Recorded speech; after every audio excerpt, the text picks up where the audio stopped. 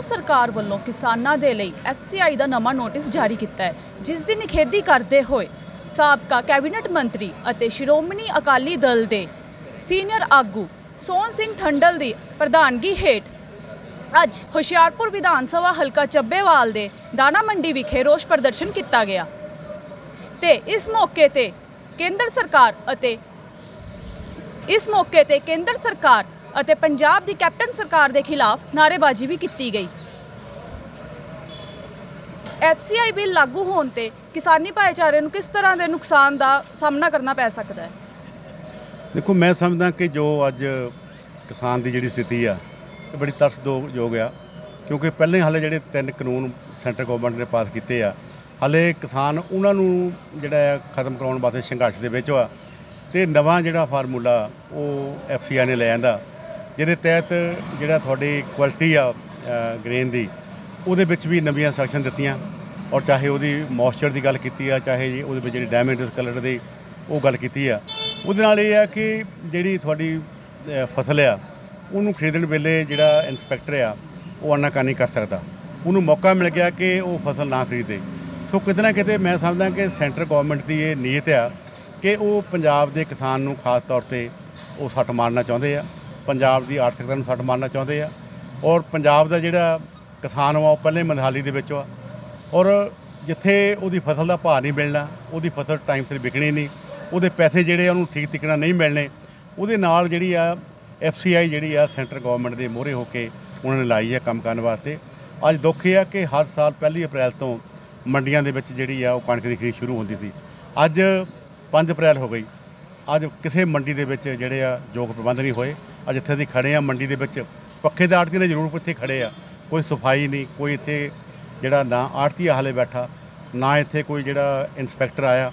ਔਰ ਇੱਥੋਂ ਲੱਗਦਾ ਇਹ ਆ ਕਿ ਸੈਂਟਰ ਗਵਰਨਮੈਂਟ ਇਹ ਕਿਸਾਨ ਨੂੰ ਖਤਮ ਕਰਨ ਵਾਸਤੇ ਇਹ ਪ੍ਰੋਜੈਕਟ ਇਦਾਂ ਨਵੀਆਂ ਗੱਲਾਂ ਲੈ ਕੇ ਆ ਰਹੀ ਆ। ਔਰ ਇਹਦੇ ਨਾਲ ਨਾਲ ਅੱਜ ਪੰਜਾਬ ਦਾ ਜਿਹੜਾ ਕਿਸਾਨ ਆ ਉਹ ਖੁਦਕੁਸ਼ੀਆਂ ਵਿੱਚ ਵਾਧਾ ਹੋ ਰਿਹਾ। ਇਸ ਕਰਕੇ ਉਹਦੀ ਜਿਹੜੀ ਆਰਥਿਕਤਾ ਸੀ, ਉਹ ਕਮਜ਼ੋਰ ਹੋ ਗਈ। ਉਹਦਾ ਸਟੇਟ ਗਵਰਨਮੈਂਟ ਨੇ ਕਰਜ਼ਾ ਮਾਫੀ ਦੀ ਗੱਲ ਕਰਤੀ, ਕਰਜ਼ਾ ਮਾਫ ਨਹੀਂ ਹੋਇਆ। ਅੱਜ ਕਰਜ਼ੇ ਦੀ ਪੰਡ ਭਾਰੀ ਹੋ ਗਈ ਆ। ਬੈਂਕਾਂ ਵਾਲਿਆਂ ਨੇ ਅੱਗੇ ਜਿਹੜੀ ਲਿਮਿਟ ਬਣਦੀ ਸੀ ਕਿਸਾਨ ਦੀ ਜ਼ਮੀਨ ਦੇ ਉੱਪਰ, ਉਹ ਤੋਂ ਜਵਾਬ ਦੇ ਦਿੱਤਾ ਉਹ ਲਿਮਿਟ ਬਣ ਨਹੀਂ ਰਹੀ। ਸੋ ਇਸ ਕਰਕੇ ਸਾਰੇ ਪਾਸਿਓਂ ਕਿਸਾਨ ਨੂੰ ਵੱਡੀ ਮਾਰ ਪੈ ਰਹੀ ਆ। ਇਹਦੇ ਨਾਲ ਪੰਜਾਬ ਦਾ ਇਕੱਲਾ ਕਿਸਾਨ ਨਹੀਂ ਖਤਮ ਹੋਣਾ, ਆੜਤੀਆ ਵੀ ਖਤਮ ਹੋਣਾ ਤੇ ਉੱਥੇ ਜਿਹੜੇ ਕੰਮ ਕਰਨ ਵਾਲੇ ਮਜ਼ਦੂਰ ਲੋਕ ਆ, ਉਹਨਾਂ ਦੀ ਆਰਥਿਕਤਾ ਤੇ ਸੱਟ ਵੱਜਣੀ ਆ। ਜਿਹੜੇ ਢੋਆ ਢੁਆਈ ਕਰਨ ਵਾਲੇ ਲੋਕ ਆ, ਉਹਨਾਂ ਦੇ ਉੱਪਰ ਵੀ ਇਸ ਚੀਜ਼ ਦਾ ਅਸਰ ਪੈਣਾ। ਔਰ ਪੰਜਾਬ ਦਾ ਇੱਕੋ ਇੱਕ ਜਿਹੜਾ ਸਾਡਾ ਇਨਕਮ ਦਾ ਸਾਧਨ ਆ, ਉਹ ਹੈ ਐਗਰੀਕਲਚਰ ਕਿਉਂਕਿ ਸੂਬਾ ਐਗਰੀਕਲਚਰ ਸਟੇਟ ਵਾ, ਔਰ ਸਾਲ ਦੇ ਵਿੱਚ ਲਗਭਗ 70000 ਕਰੋੜ ਰੁਪਈਆ ਸਾਨੂੰ ਫਸਲਾਂ ਦਾ ਜਿਹੜਾ ਆਰਬੀਆਈ ਕੋਲੋਂ ਆਉਂਦਾ, ਪੰਜਾਬ ਵਿੱਚ ਆਉਂਦਾ। ਜਦ ਜੇ ਪੰਜਾਬ ਦੀ ਫਸਲ ਨਹੀਂ ਖਰੀਦੀ ਜਾਣੀ, ਇੱਕ ਤਾਂ ਉਹ ਪੈਸਾ ਨਹੀਂ ਆਉਣਾ। ਨੰਬਰ 2 ਅੱਜ ਭਾਵੇਂ ਸਾਡੀ ਸੂਬੇ ਦੀ ਸਰਕਾਰ ਅੱਖਾਂ ਮੀਟੀ ਬੈਠੀ ਆ, ਜਿਹੜਾ ਆਰਡੀਐਫ ਆ ਉਹ ਵੀ ਸਟੇਟ ਨੂੰ ਨਹੀਂ ਮਿਲਣਾ। ਤਾਂ ਉਹਨਾਂ ਸ- ਜਿਹੜੀ ਸਟੇਟ ਦੀ ਵੀ ਜਿਹੜੀ ਇਨਕਮ ਆ ਘਟਣੀ ਆ ਡਿਵੈਲਪਮੈਂਟ ਦੇ ਕੰਮ ਰੁਕ ਜਾਣੇ ਆ। ਸੋ ਰਲ ਮਿਲਾ ਕੇ ਇਹ ਆ ਕਿ ਇਹ ਸਾਰਾ ਜਿਹੜਾ ਜੋ ਅੱਜ ਸੈਂਟਰ ਦੀ ਸਰਕਾਰ ਕਰ ਰਹੀ ਆ, ਜਿਹਦੇ ਵਿੱਚ ਚਾਹੇ ਉਹਨੇ ਬਿੱਲ ਲੈ ਕੇ ਆਂਦੇ ਆ, ਚਾਹੇ ਉਹ ਜਿਹੜਾ ਫੂਡਸ ਜਿਹੜਾ ਆਪਣਾ ਐਫਸੀਆਈ ਨੂੰ ਅਗਾਂਹ ਕਰਕੇ ਨਵੇਂ ਉਹਨੇ ਸੈਕਸ਼ਨ ਦਿੱਤੀਆਂ, ਇਹ ਸਾਰੀਆਂ ਕਿਸਾਨ ਮਾਰੂ ਆ, ਇਹਦੇ ਨਾਲ ਬਹੁਤ ਵੱਡਾ ਨੁਕਸਾਨ ਹੋਊਗਾ। ਇਹਦੇ ਕਰਕੇ ਅੱਜ ਸ਼੍ਰੋਮਣੀ ਅਕਾਲੀ ਦਲ ਨੇ ਫੈਸਲਾ ਕੀਤਾ ਕਿ ਅਸੀਂ ਇਹ ਮੰਗ ਕਰਦੇ ਹਾਂ ਕਿ ਸੈਂਟਰ ਦੀ ਸਰਕਾਰ ਇਹ ਅੜੀਅਲ ਰੁਪਈਆ ਛੱਡੇ, ਇਹ ਜਿਹੜੇ ਕਾਨੂੰਨ ਆ ਜਦ ਕਿ ਸੁਪਰੀਮ ਕੋਰਟ ਨੇ ਕਹਿਤਾ ਤੇ ਸਟੇ ਕਰ ਦਿੱਤਾ ਔਰ ਸ- ਜਿਹੜੀ ਸਰਕਾਰ ਵਾ, ਉਹ ਟੇਢਾ ਕਲਮ ਰੋੜਦੀ ਆ। ਉਹਨੇ ਉਹ ਤਾਂ ਕਹਿਤਾ ਕਿ ਅਸੀਂ ਲਾਗੂ ਸਟੇ ਹੋ ਗਿਆ। ਪਰ ਐਫਸੀਏ ਨੂੰ ਹਦਾਇਤਾਂ ਕਰਤੀਆਂ। ਇਹਦਾ ਮਤਲਬ ਕੀ ਆ? ਕਿ ਫਸਲ ਖਰੀਦੀ ਨਾ ਜਾ ਸਕੇ। ਔਰ ਪੈਸੇ ਜਿਹੜੇ ਆ ਆੜਤੀਏ ਨੂੰ ਲਾਂਭੇ ਕਰ ਦਿੱਤਾ। ਅੱਜ ਆੜਤੀ ਤੋਂ ਬਗੈਰ ਤਾਂ ਕੌਣ ਢੇਰੀ ਸਾ- ਜ਼ਿੰਮੇਵਾਰੀ ਕਿਹਦੀ ਆ? ਰਾਤ ਨੂੰ ਢੇਰੀ ਆ ਗਈ, ਕੌਣ ਸੰਭਾਲੂਗਾ? ਉਹਦੀ ਸਫ਼ਾਈ ਕੌਣ ਕਰਾਊਗਾ? ਉਹਦੀ ਭਰਾਈ ਲਦਾਈ ਕੌਣ ਕਰਾਊਗਾ?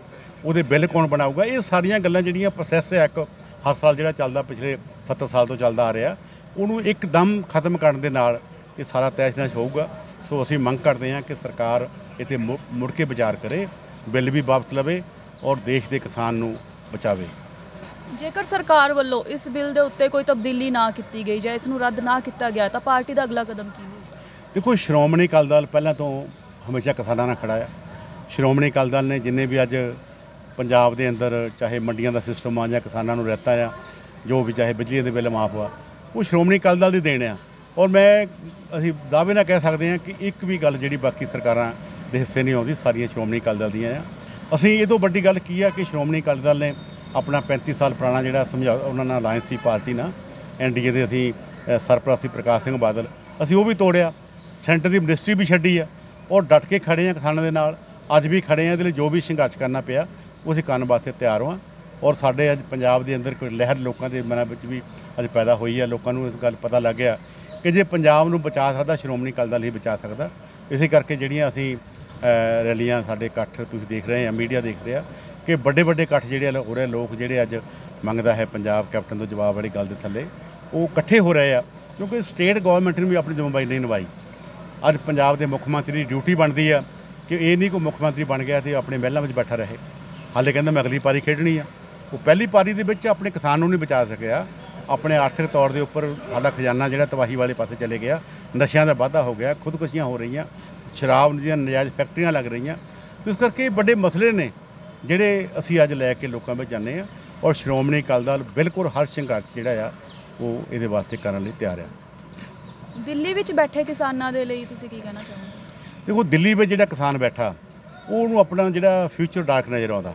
ਇਸੇ ਕਰਕੇ ਉਹ ਪਿਛਲੇ 1 ਸਾਲ ਹੋ ਗਿਆ ਪਹਿਲਾਂ ਪੰਜਾਬ ਦੇ ਵਿੱਚ ਲਾਈਨਾਂ ਤੇ ਬੈਠਾ ਸੀ, ਧੁੱਪ ਦੇ ਵਿੱਚ ਬੈਠਾ ਰਿਹਾ, ਫਿਰ ਸਾਰੀ ਉਹਨੇ ਸਰਦੀ ਦਿੱਲੀ ਦੇ ਵਿੱਚ ਬੈਠ ਕੇ ਆਪਣੇ ਪਿੰਡੇ ਦੇ ਹੰਡਾਈ ਆ, ਮੁੜ ਕੇ ਫਿਰ ਗਰਮੀ ਹੋ ਗਈ ਆ, ਉੱਥੇ ਮੱਛਰ ਵੀ ਆ, ਹੋਰ ਵੀ ਆ ਸਾਰਾ ਕੁਝ ਆ, ਪਰ ਕਿਸਾਨ ਜਿਹੜਾ ਆ, ਉਹ ਬਿਲਕੁਲ ਡਟਿਆ ਪਿਆ, ਸ਼੍ਰੋਮਣੀ ਅਕਾਲੀ ਦਲ ਉਹਦੇ ਨਾਲ ਆ, ਸਾਡੇ ਵਰਕਰ ਜਿੰਨੇ ਵੀ ਮੇਰੇ ਵਰਕਰ ਆ, ਸਾਥੀ ਆ, ਮੈਂ ਆਪ ਖੁਦ ਉੱਥੇ ਜਾ ਕੇ ਅਸੀਂ ਰਹਿ ਕੇ ਆਏ ਆ, ਉੱਥੇ ਵੱਖ-ਵੱਖ ਗਰੁੱਪਾਂ ਦੇ ਵਿੱਚ ਆਪਣੀਆਂ ਟਰਾਲੀਆਂ ਬੰਦੇ ਲੈ ਕੇ ਜਾਂਦੇ ਆ, ਉਹਨਾਂ ਵਾਸਤੇ ਜਿਹੜੀਆਂ ਚੀਜ਼ਾਂ ਦੀਆਂ ਲੋੜਾਂ ਆ, ਉਹ ਵੀ ਲੈ ਕੇ ਜਾਂਦੇ ਆ ਔਰ ਜਿਹੜੀ ਵੀ ਗੱਲ ਆ ਉਹਦੀ ਆਵਾਜ਼ ਮੌਕੇ ਦੇ ਸਿਰ ਅਸੀਂ ਮੌਕੇ-ਮੌਕੇ ਤੇ ਜਿਹੜੀ ਉਹ ਬੁਲੰਦ ਕਰਦੇ ਆ ਸਾਡੀ ਪਾਰਟੀ ਬੁਲੰਦ ਕਰਦੀ ਆ ਔਰ ਅਸੀਂ ਇਹ ਚੀਜ਼ ਦਾ ਭਰੋਸਾ ਵੀ ਦਿਵਾਉਂਦੇ ਆ ਆਪਣੇ ਕਿਸਾਨ ਭਰਾਵਾਂ ਨੂੰ ਕਿ ਸ਼੍ਰੋਮਣੀ ਅਕਾਲੀ ਦਲ ਤੁਹਾਡੇ ਨਾਲ ਹਰ ਲੜਾਈ ਲੜਨ ਵਾਸਤੇ ਤਿਆਰ ਵਾ। ਜੇ ਤੁਸੀਂ ਕਹੋ ਮੋਹਰੇ ਲੱਗੇ ਸੀ ਮੋਹਰੇ ਲੱਗਣ ਲਈ ਵੀ ਤਿਆਰ ਹਾਂ ਕਿਸਾਨਾਂ ਨੇ ਕਿਹਾ ਕਿ ਅਸੀਂ ਸਿਆਸੀ ਪਾਰਟੀਆਂ ਨੂੰ ਹਲੇ ਪਿੱਛੇ ਰੱਖਣਾ। ਇਸ ਕਰਕੇ ਅਸੀਂ ਪਿੱਛੋਂ ਹੋ ਕੇ ਤੁਸੀਂ ਦਿੱਲੀ ਜਾ ਕੇ ਦੇਖੋ, ਸਭ ਤੋਂ ਵੱਧ ਜਿਹੜੇ ਉੱਥੇ ਲੋਕ ਬੈਠੇ ਆ, ਉਹ ਸ਼੍ਰੋਮਣੀ ਅਕਾਲੀ ਦਲ ਦੇ ਉੱਤੇ ਬੰਦੇ, ਉਹ ਬੈਠੇ ਆ। ਚੱਬੇਵਾਲ ਤੋਂ ਕਿਸਾਨ ਵਿੰਗ ਦੇ ਪ੍ਰਧਾਨ। ਅਮਨਦੀਪ ਸਿੰਘ। ਸੋਨੀ ਜੀ ਦੇ ਨਾਲ ਗੱਲ ਕਰਕੇ ਜਾਣਾਂਗੇ। ਸਰ ਜੋ ਦਿੱਲੀ ਦੇ ਵਿੱਚ ਕਿਸਾਨਾਂ ਦੇ ਉੱਤੇ ਪਰਚੇ ਕੀਤੇ ਗਏ ਆ ਉਹਦੇ ਬਾਰੇ ਸ਼੍ਰੋਮਣੀ ਅਕਾਲੀ ਦਲ ਵੱਲੋਂ ਕੀ ਪ੍ਰੈਫਰ ਕੀਤਾ ਜਾਂ ਕੀ ਪਹਿਲ ਕਦਮੀ ਕੀਤੀ ਜਾਵੇਗੀ? ਦੇਖੋ ਮੈਡਮ ਅਸੀਂ ਗੱਲ ਇੱਕ ਕਲੀਅਰਲੀ ਦੱਸ ਦੇਣਾ ਚਾਹੁੰਦੇ ਆ ਕਿ ਸ਼੍ਰੋਮਣੀ ਅਕਾਲੀ ਦਲ ਇੱਕ ਇਹੋ ਜਿਹੀ ਪਾਰਟੀ ਹੈ ਕਿ ਜਿਹੜੀ ਸ਼ੁਰੂ ਤੋਂ ਇਹ ਕਿਸਾਨਾਂ ਦੇ ਨਾਲ ਪਾਰਟੀ ਆ, ਕਿਸਾਨਾਂ ਦੀ ਪਾਰਟੀ ਕਿਸਾਨਾਂ ਦੇ ਨਾਲ ਜੁੜੀ ਹੋਈ ਆ, ਹਰੇਕ ਵਰਗ ਨੂੰ ਨਾਲ ਲੈ ਕੇ ਚੱਲਦੀ ਆ। ਜੇ ਦਿਲ ਦਿੱਲੀ ਦੀ ਕਰੀਏ ਤੇ ਜਿਹੜੇ ਹੁਣ ਪਰਚੇ ਕੱਟੇ ਗਏ ਸੀਗੇ ਕਿਸਾਨਾਂ ਦੇ ਉੱਪਰ ਵੀ, ਉਹਦੇ ਵਿੱਚ ਵੀ ਸਾਡੇ ਪ੍ਰਧਾਨ ਸਾਹਿਬ ਨੇ ਸਰਦਾਰ ਸੁਖਬੀਰ ਸਿੰਘ ਬਾਦਲ ਨੇ ਸਾਡੀ ਸ਼੍ਰੋਮਣੀ ਕਮੇਟੀ ਦਿੱਲੀ ਨੂੰ ਵੀ ਆਰਡਰ ਕੀਤੇ ਉੱਥੇ। ਜਿਹੜੇ ਸਾਡੇ ਸਾਸਾ ਜੀ ਉਹਨਾਂ ਨੇ ਮੰਨ ਲਓ ਦੇਖੋ ਉਹਨਾਂ ਨੂੰ ਉਹਨਾਂ ਦੀਆਂ ਜ਼ਮਾਨਤਾਂ ਕਰਾਈਆਂ ਜਿੰਨੇ ਉਹਨਾਂ ਦੇ ਪਰਚੇ ਆ ਸਾਡੇ ਉਹਨਾਂ ਦੇ ਸਾਡੇ ਮਤਲਬ ਕਿ ਪਾਰਟੀ ਨੇ ਵਕੀਲ ਵੀ ਉਹਨਾਂ ਨੇ ਸਾਡੇ ਆਪਣੀ ਪਾਰਟੀ ਨੇ ਕੀਤੇ ਕਿਸਾਨਾਂ ਦਾ ਜਿਹੜਾ ਧੱਕੇਸ਼ਾਹੀਆਂ ਜਿਹੜੀਆਂ ਸਾਨੂੰ ਕੀਤੀਆਂ ਆ ਉਹ ਸਾਡੀ ਪਾਰਟੀ ਨੇ ਵਕੀਲਾਂ ਨੂੰ ਕਰਕੇ ਉਹਨਾਂ ਦੀਆਂ ਜ਼ਮਾਨਤਾਂ ਕਰਾਉਂਦੀ ਤੇ ਸ਼੍ਰੋਮਣੀ ਅਕਾਲੀ ਦਲ ਦੇ ਅੱਗੇ ਜਿੰਨੇ ਆਪਣੇ ਲੀਡਰ ਆ ਜਾਂ ਸਾਡੇ ਵਰਕਰ ਆ ਜਿਹੜੇ ਕਰਾਉਂਦੇ ਕਰਾਉਂਦੇ ਆ ਦਿੱਲੀ ਦੇ ਵਿੱਚ ਸਾਸਾ ਜੀ।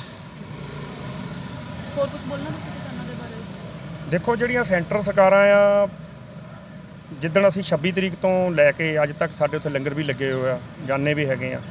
ਕਿਸਾਨ ਇੱਕ ਤੇ ਮਜ਼ਦੂਰ ਇੱਕ ਦੇਸ਼ ਦੀ ਇੱਕ ਰੀੜ੍ਹ ਦੀ ਹੱਡੀ ਹੁੰਦੀ ਆ। ਜਦੋਂ ਵੀ ਅਸੀਂ ਨਾਰਾ ਕੋਲੋਂ ਜੈ ਜਵਾਨ ਤੇ ਜੈ ਕਿਸਾਨ। ਜੇ ਸਾਡੇ ਜਵਾਨ ਆ, ਉਹ ਵੀ ਸਾਡੇ ਕਿਸਾਨਾਂ ਦੇ ਪੁੱਤੇ ਜਿਹੜੇ ਬਾਰਡਰਾਂ ਦੇ ਸ਼ਹੀਦ ਹੁੰਦੇ ਆ। ਤੇ ਇੱਕ ਕਿਸਾਨ ਆ ਜਿਹੜਾ ਅੰਨਦਾਤਾ ਹੈ ਇੱਕ ਅੰਨ ਪੈਦਾ ਕਰਕੇ ਸਾਰੇ ਦੇਸ਼ ਨੂੰ ਖਿਲਾਉਂਦਾ। ਜੇ ਉਹਦੇ ਨਾਲ ਇੱਕ ਧੱਕੇਸ਼ਾਹੀਆਂ ਹੋਣਗੀਆਂ, ਉਹਨੂੰ ਉਹਦਾ ਹੱਕ ਨਾ ਮਿਲੂਗਾ ਤੇ ਆਉਣ ਵਾਲੇ ਸਮੇਂ ਦੇ ਵਿੱਚ ਇਹ ਆਰਥਿਕ ਹਾਲਤ ਜਿਹੜੀ ਦੇਸ਼ ਦੀ, ਇਹ ਬਹੁਤ ਖਰਾਬ ਹੋ ਜਾਊਗੀ। ਸੋ ਅਸੀਂ ਪਹਿਲਾਂ ਦੱਸ ਦੇਣਾ, ਜਦੋਂ ਸਾਡਾ ਦੇਸ਼ ਤੋਂ ਪਹਿਲਾਂ, ਜਦੋਂ ਸਾਡੇ ਭੁੱਖਮਰੀ ਪਈ ਹੋਈ ਸੀ ਇੰਡੀਆ ਦੇ ਵਿੱਚ, ਤਾਂ ਉਦੋਂ ਇੱਕ ਕਿਸਾਨ ਸੀਗਾ, ਜਿਨ ਇੱਕ ਕਿਸਾਨ ਦੇ ਰੂਪ ਦੇ ਵਿੱਚ ਬਹਿ ਕੇ ਪੂਰੇ ਦੇਸ਼ ਨੂੰ ਇਹ ਭੁੱਖਮਰੀ ਤੋਂ ਬਚਾਇਆ। ਅੰਨ ਪੈਦਾ ਕਰਕੇ ਹੁਣ ਸਰਪਲਸ ਕਰ ਦਿੱਤਾ ਤੇ ਸਾਡੇ ਦੇਸ਼ ਦੀਆਂ ਜਿਹੜੇ ਹਕੂਮਤਾਂ ਆ, ਇਹ ਹੁਣ ਇਹਨਾਂ ਦੇ ਕੋਲ ਅੰਨ ਕਿਸਾਨ ਪੈਦਾ ਕਰ ਰਿਹਾ। ਪਰ ਉਹਨੂੰ ਸੰਭਾਲਣ ਦੀ ਇਹਨਾਂ ਕੋਲ ਐਡੀ ਕੋਈ ਤਾਕਤ ਨਹੀਂ ਹੈਗੀ, ਜਾਂ ਮਤਲਬ ਇਹ ਆਪਣੇ ਆਪ ਨੂੰ ਮਹਿਰੂਮ ਸਮਝਦੇ ਕਿ ਅਸੀਂ ਕਿਸਾਨਾਂ ਨੂੰ ਜੇ ਇਹ ਡੋਬਣਾ ਕਿਸੇ ਤਰ੍ਹਾਂ ਜਿਹੜੇ ਵੱਡੇ ਵੱਡੇ ਘਰਾਣੇ ਆ, ਚਾਹੇ ਵਾਨੀ ਹੋਵੇ ਜਾਂ ਡਾਨੀ ਹੋਵੇ, ਉਹਨਾਂ ਦੇ ਕੋਲ ਹੀ ਕਰਾ ਦਈਏ। ਤੇ ਸੋ ਮੈਂ ਬੇਨਤੀ ਕਰਨੀ ਚਾਹੁੰਦਾ ਵਿੱਚ ਕਿਸਾਨ ਵੀਰਾਂ ਨੂੰ ਤੇ ਸਾਡੇ ਹੋਰ ਹਰੇਕ ਵਰਗ ਦੇ ਵੀਰਾਂ ਨੂੰ ਕਿ ਸਾਡੇ ਨਾਲ ਜਿਹੜਾ ਧੱਕਾ ਆ, ਇਹ ਸਾਡੇ ਨਾਲ ਹੋ ਰਿਹਾ ਤੇ ਅਸੀਂ ਸਾਰਿਆਂ ਨੇ ਇਕੱਠੇ ਹੋ ਕੇ ਦਿੱਲੀ ਨੂੰ ਅਸੀਂ ਫਤਿਹ ਕਰਨਾ ਔਰ ਅਸੀਂ ਕਿਸਾਨ ਵੀ ਆ ਤੇ ਸਾਡੀ ਕੌਮ ਵੀ ਸਿੱਖ ਕੌਮ ਵੀ ਆ ਤੇ ਅਸੀਂ ਪੰਜਾਬੀ ਵੀ ਆ। ਆਪਣੇ ਤੇ ਮਾਣ ਵੀ ਕਰਦੇ ਆ ਕਿ ਬਾਕੀ ਮੈਡਮ ਦੱਸ ਦੇਣਾ ਚਾਹੁੰਦੇ ਆ ਕਿ ਪੰਜਾਬ ਦੇ ਨਾਲ ਜਿਹੜੀ ਵੀ ਹਕੂਮਤ ਨੇ ਕਦੀ ਪੰਗਾ ਲਿਆ, ਪੰਜਾਬ ਇੱਕ ਦੇਸ਼ ਦੇ ਵਿੱਚ ਇੱਕ ਇਹੋ ਜਿਹਾ ਬੁਲੰਦ ਸੂਬਾ ਆ ਜਿਹੜਾ ਚੜ੍ਹਦੀ ਕਲਾ ਵਿੱਚ ਰਹਿੰਦਾ ਤੇ ਚੜ੍ਹਦੀ ਕਲਾ ਵਿੱਚ ਰਹੂਗਾ। ਇਸ ਕਰਕੇ ਮੋਦੀ ਸਰਕਾਰ ਨੂੰ ਚਾਹੀਦਾ ਕਿ ਪੰਜਾਬ ਦੇ ਨਾਲ ਨਾ ਸਾਡੇ ਨਾਲ ਪੰਗਾ ਲਵੇ। ਅਸੀਂ ਤਾਂ ਉੱਥੇ ਹੁਣ ਪੱਕੇ ਘਰ ਬਣਾਉਣੇ ਸ਼ੁਰੂ ਕਰ ਦਿੱਤੇ ਆ ਰੋਡਾਂ ਦੇ ਉੱਪਰ। ਤੇ ਸਾਨੂੰ ਜੇ ਅਸੀਂ ਉਦਾਂ ਵੀ ਅਸੀਂ ਤਾਂ ਮਰੇ ਹੋਏ ਆ, ਜੇ ਸਾਡੀਆਂ ਫਸਲਾਂ ਨਹੀਂ ਵਿਕਣੀਆਂ, ਸਾਨੂੰ ਕੋਈ ਮੁੱਲ ਨਹੀਂ ਮਿਲੂਗਾ ਤੇ ਅਸੀਂ ਤਾਂ ਕੁਰਬਾਨੀਆਂ ਦੇਣ ਨੂੰ ਤਿਆਰ ਹਾਂ, ਅਸੀਂ ਉੱਥੇ ਬੈਠੇ ਆ ਔਰ ਹਰੇਕ ਟਾਈਮ ਦੇ ਨਾਲ ਦੇਖਦੇ ਟਾਈਮ ਨੂੰ ਲਿਆਕਤ ਨੂੰ ਦੇਖ ਕੇ ਫਤਿਹ ਕਰਾਂਗੇ। ਵਾਹਿਗੁਰੂ ਜੀ ਕਾ ਖਾਲਸਾ ਵਾਹਿਗੁਰੂ ਜੀ ਕੀ ਫਤਿਹ।